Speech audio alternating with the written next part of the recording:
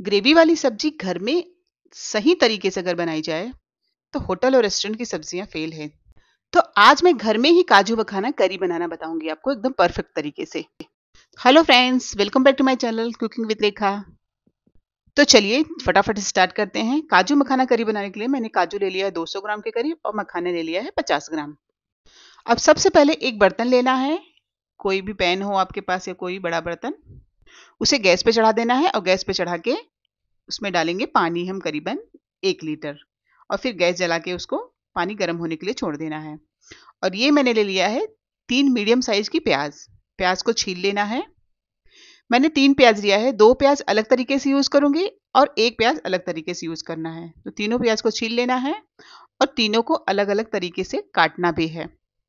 तो चैनल पे जो पहली बार आ रहे हैं, जो चैनल पे नए हैं, जिन्होंने सब्सक्राइब नहीं किया है सो प्लीज़ चैनल को सब्सक्राइब ज़रूर कर लीजिएगा और बेल आइकन दबाना बिल्कुल भी ना भूलें।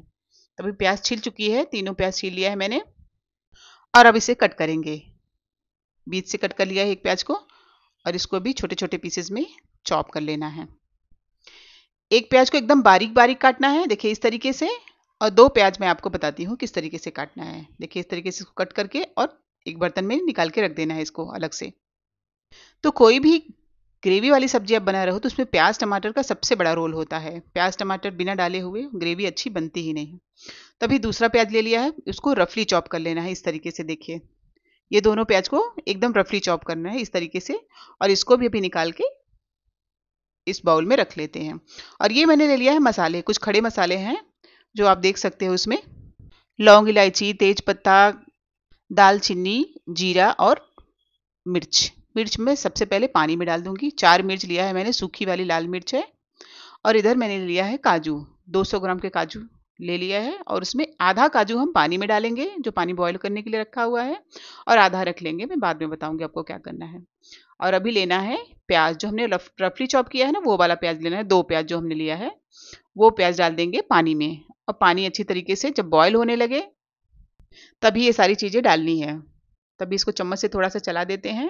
प्याज को हमें तब तक पकाना है जब तक वो एकदम सॉफ्ट ना हो जाए। काजू और प्याज का हमें पेस्ट बनाना है, इसलिए इसको एकदम सॉफ्ट होने तक पकाएँगे। करीबन तीन से चार मिनट लग जाएगा, ज़्यादा टाइम नहीं लगेगा। अभी बॉयल होने लगा है और ऑलमोस्ट पक चुका है। गैस बंद करके इसको उतार लेना है और इसको छान लेंगे छन्नी से।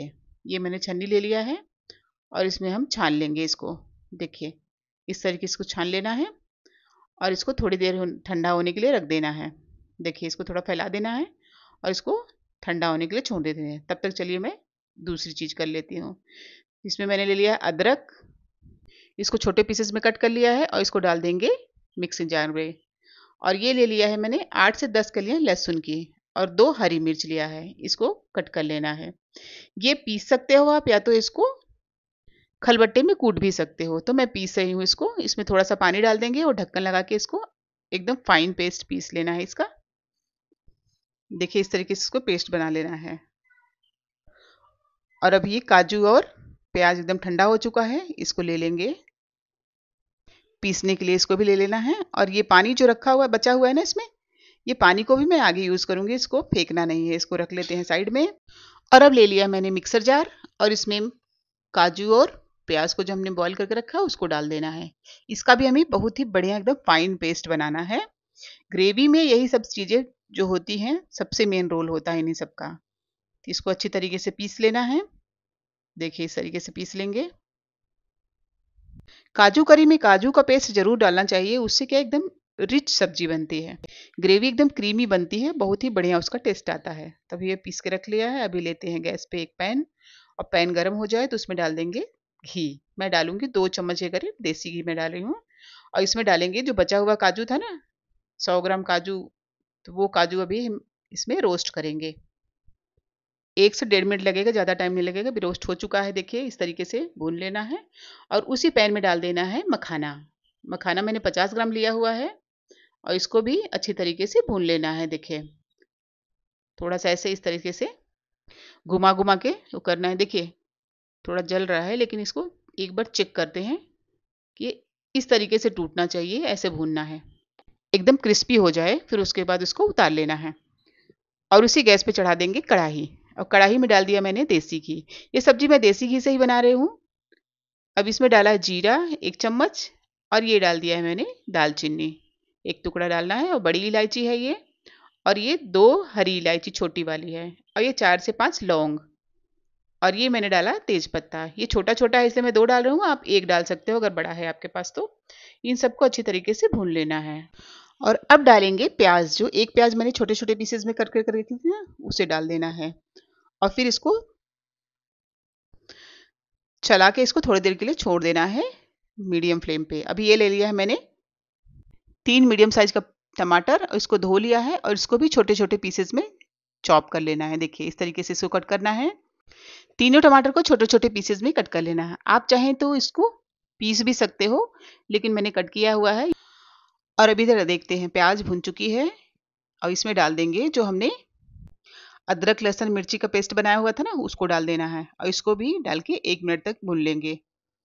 और फिर उसके बाद में जो टमाटर कट किया है, उसको डाल देना है। इसको भी डाल के और फिर डालेंगे एक चम्मच नमक। टमाटर गलने के लिए नमक डाल देना है पहले से ही और इसको अच्छी तरीके से मिला लेना है, देखिए। और उसके बाद मैं डालूँगी एक चम्मच के करीब धनिया पाउडर और आधा चम्मच लाल मिर्च पाउडर और एक चम्मच ही हल्दी पाउडर डालना है इसमें और इन सबको अच्छी तरीके से मिला लेना है। तो मसाले को अच्छी तरीके से भुनने के लिए इसमें हम डाल देंगे पानी। पानी मैंने एक कप के करीब डाला है, क्योंकि हम मसाला इसमें पका रहे हैं जिसमें पानी ज़रूर डालना है, क्योंकि मसाला जलने का डर रहेगा। तो अभी इसमें डाल देना है चीनी। एक चम्मच मैंने चीनी डाला हुआ है।